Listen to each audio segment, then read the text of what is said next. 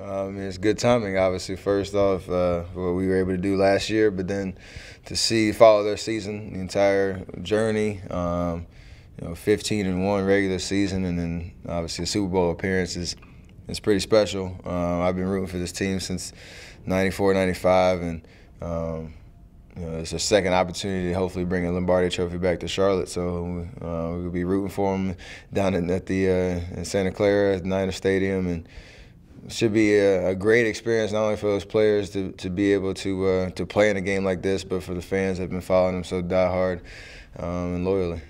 Like you said, I went to their training camp uh, three years ago and kind of saw the ins and outs of how they prepare for a season. Got to know Coach very, very well. Cam, Jonathan Stewart, uh, Thomas Davis. So all these guys are, uh, you know them on a personal level, and, and, you're just so happy for what they've been able to accomplish. Um, you want to see, you know, them succeed. So not only is it just you know rooting for the Panthers, like you say, and it's a team that I've I've supported for a while, but you know there's individual guys that you know how hard they work, um, what they've put into the game, and you want to see them uh, see the results from that and be champions.